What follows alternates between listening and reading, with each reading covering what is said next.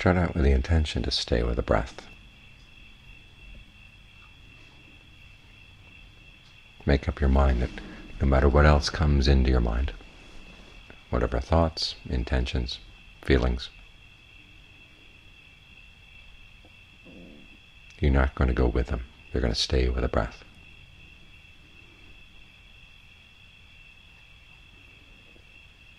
Now this doesn't mean the other thoughts and intentions won't come. They don't get scared away simply by one intention.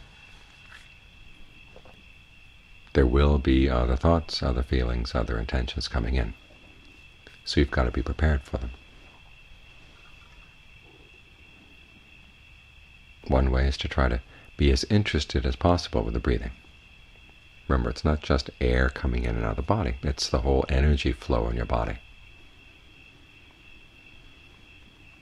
The top of the head down to the tips of the toes, tips of the fingers, your arms, your legs, your torso, your neck.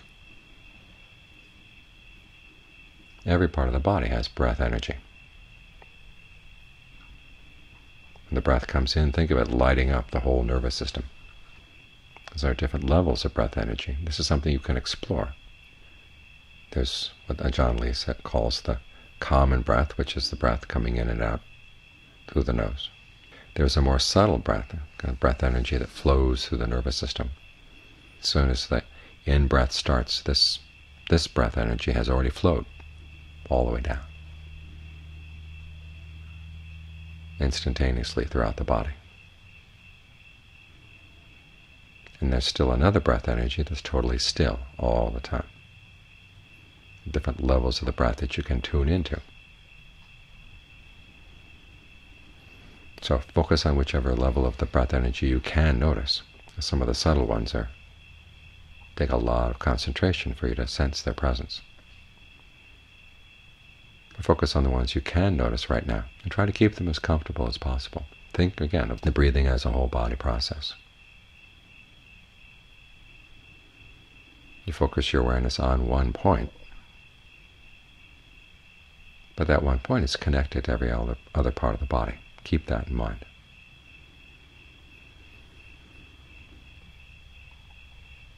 And try to make an examination an exploration to see what kind of breathing feels best for the different parts of the body. This gives you something to do. When you have something to do with the breathing, you're less likely to go running off with other, other thoughts, other ideas.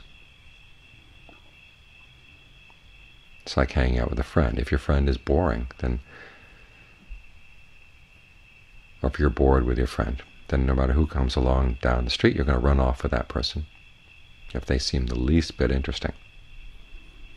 So, try to take an interest in your friend here. After all, the breath is your friend. It's been keeping you alive all this time.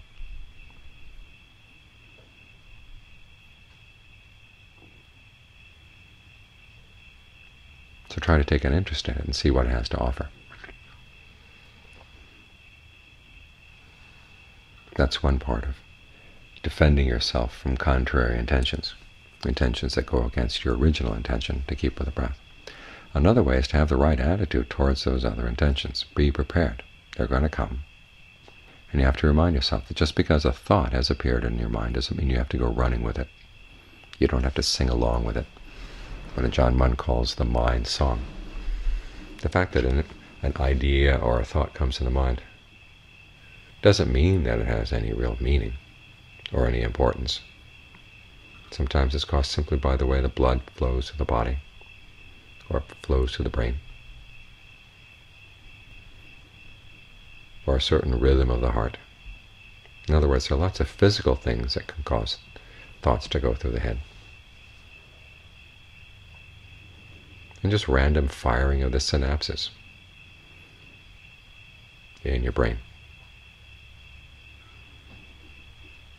Or one thought may arise, or one feeling may arise through the breathing. That's going to remind you of how you used to feel at some other time, and all of a sudden you find yourself back there. Well, actually, there were several stages in the process, and one of them had to do with the mind's tendency just to go running with anything that comes along. And it does this because partly because simple lack of mindfulness, but also a lack of understanding. That when thoughts come through, even when strong emotions come through, that It's not necessarily, necessarily the real you that's feeling those things or thinking those things.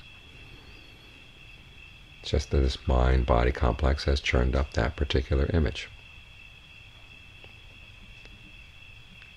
And you have to remind yourself, you have the choice to go with it or not. Even when the emotion is strong and it has a physical component. In other words, it's begun to stir up different breath energies, different hormones in the body. That doesn't mean it's real or you have to go with it. Remind yourself that there are alternatives. So as soon as you catch yourself running off with a thought, you don't have to tie up the loose ends before you drop it, just drop it. Come back to the breath. And remind yourself that even if it seemed important or interesting, you don't have to go with it. If it's really important, it'll come back after you've left the meditation. In the meantime, your duty is to allow the mind some time to settle down. You have to keep in mind the importance of keeping a good, solid, calm state of mind as a skill that you're trying to develop, that it really is important. You're going to need this in your everyday life, as aging comes, illness, as death comes. Your best defense is a calm mind. especially if your mind tends to operate on fear and worry. Remind yourself this is your best defense. This is your best preparation for any difficult situation. The ability to keep your head. So these are some of the skills for keeping your head. Learn how to breathe calmly no matter what. Learn how not to go running off with any thoughts that may come into the mind. When we talk of people who are brave and fearless, it's not that fears don't go through their head, it's just they don't go running with them, they don't go singing along with them. They see the fear and they learn how to just put it aside. Not let it get involved, not let it get in the way.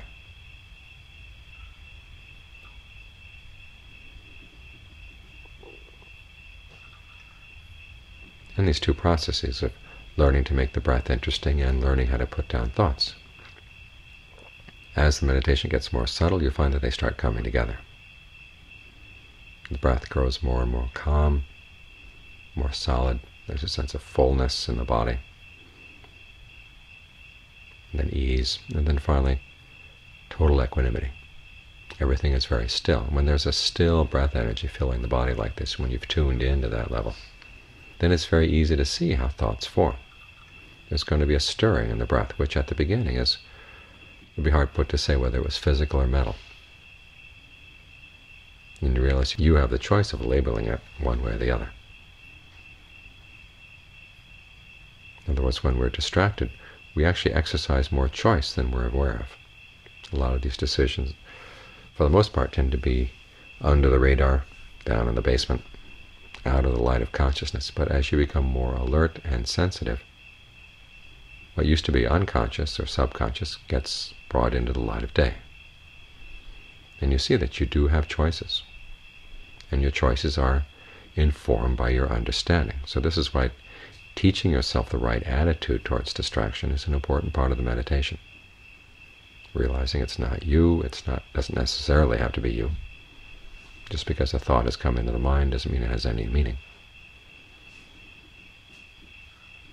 or just because it looks like it might be entertaining or interesting doesn't mean that it's going to take you to a good place.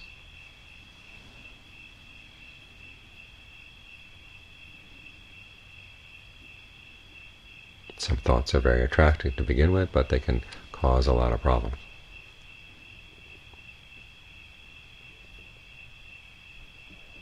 Years back when I was a layperson, I was standing on the corner in a road in Bangkok. This car drove up, and two very pretty women were sitting in the back of the car, and they motioned for me to get in the car. And looked at that, and I said, that's trouble. And a lot of attractive thoughts are like that. Who knows where they would have taken me? What would have happened? Or if they were women to begin with. Just because a thought looks like it might be entertaining, don't go with it. If it looks like it's important, you don't have to believe in its importance. If it seems meaningful or pretentious, you don't have to believe it. As thoughts really can be very random.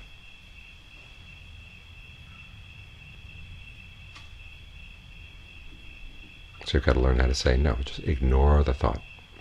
Many thoughts are like a crazy person coming to talk in your mind. If you look at them that way, then you learn how to just put them aside. You know how crazy people are. If you try to chase them away, they've got you. So you just ignore them.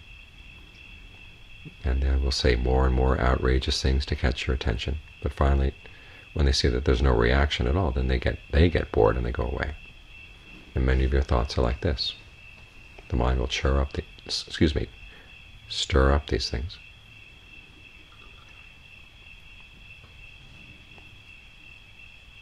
And if you catch on to them, that'll stir up some more. Or I can think of it, the mind is offering wares for sale. And if you buy the thought, okay, it'll keep on producing more of the thoughts that get bought. But if it puts its wares out on the table and nobody buys, after a while, just stop putting them out. It realizes it's a waste of time.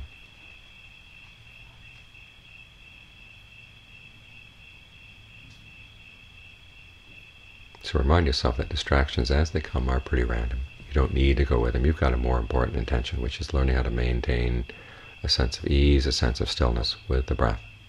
And that really this is your most important defense, because sometimes deep down inside you believe, well, I've got to worry about this, worry about that to prepare for the future. Remind yourself your best defense against future dangers is present awareness, present mindfulness.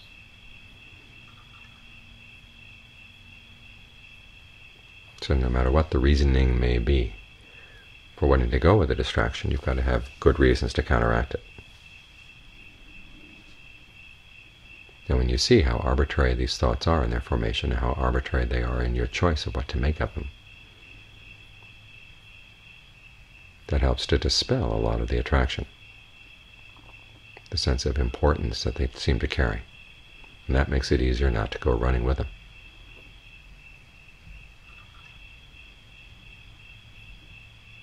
So do your best to remember the importance of staying with the breath and the triviality of your thoughts that pull you other places. And when you think in these terms, it's a lot easier to stick with the original intention, which is to stay right here.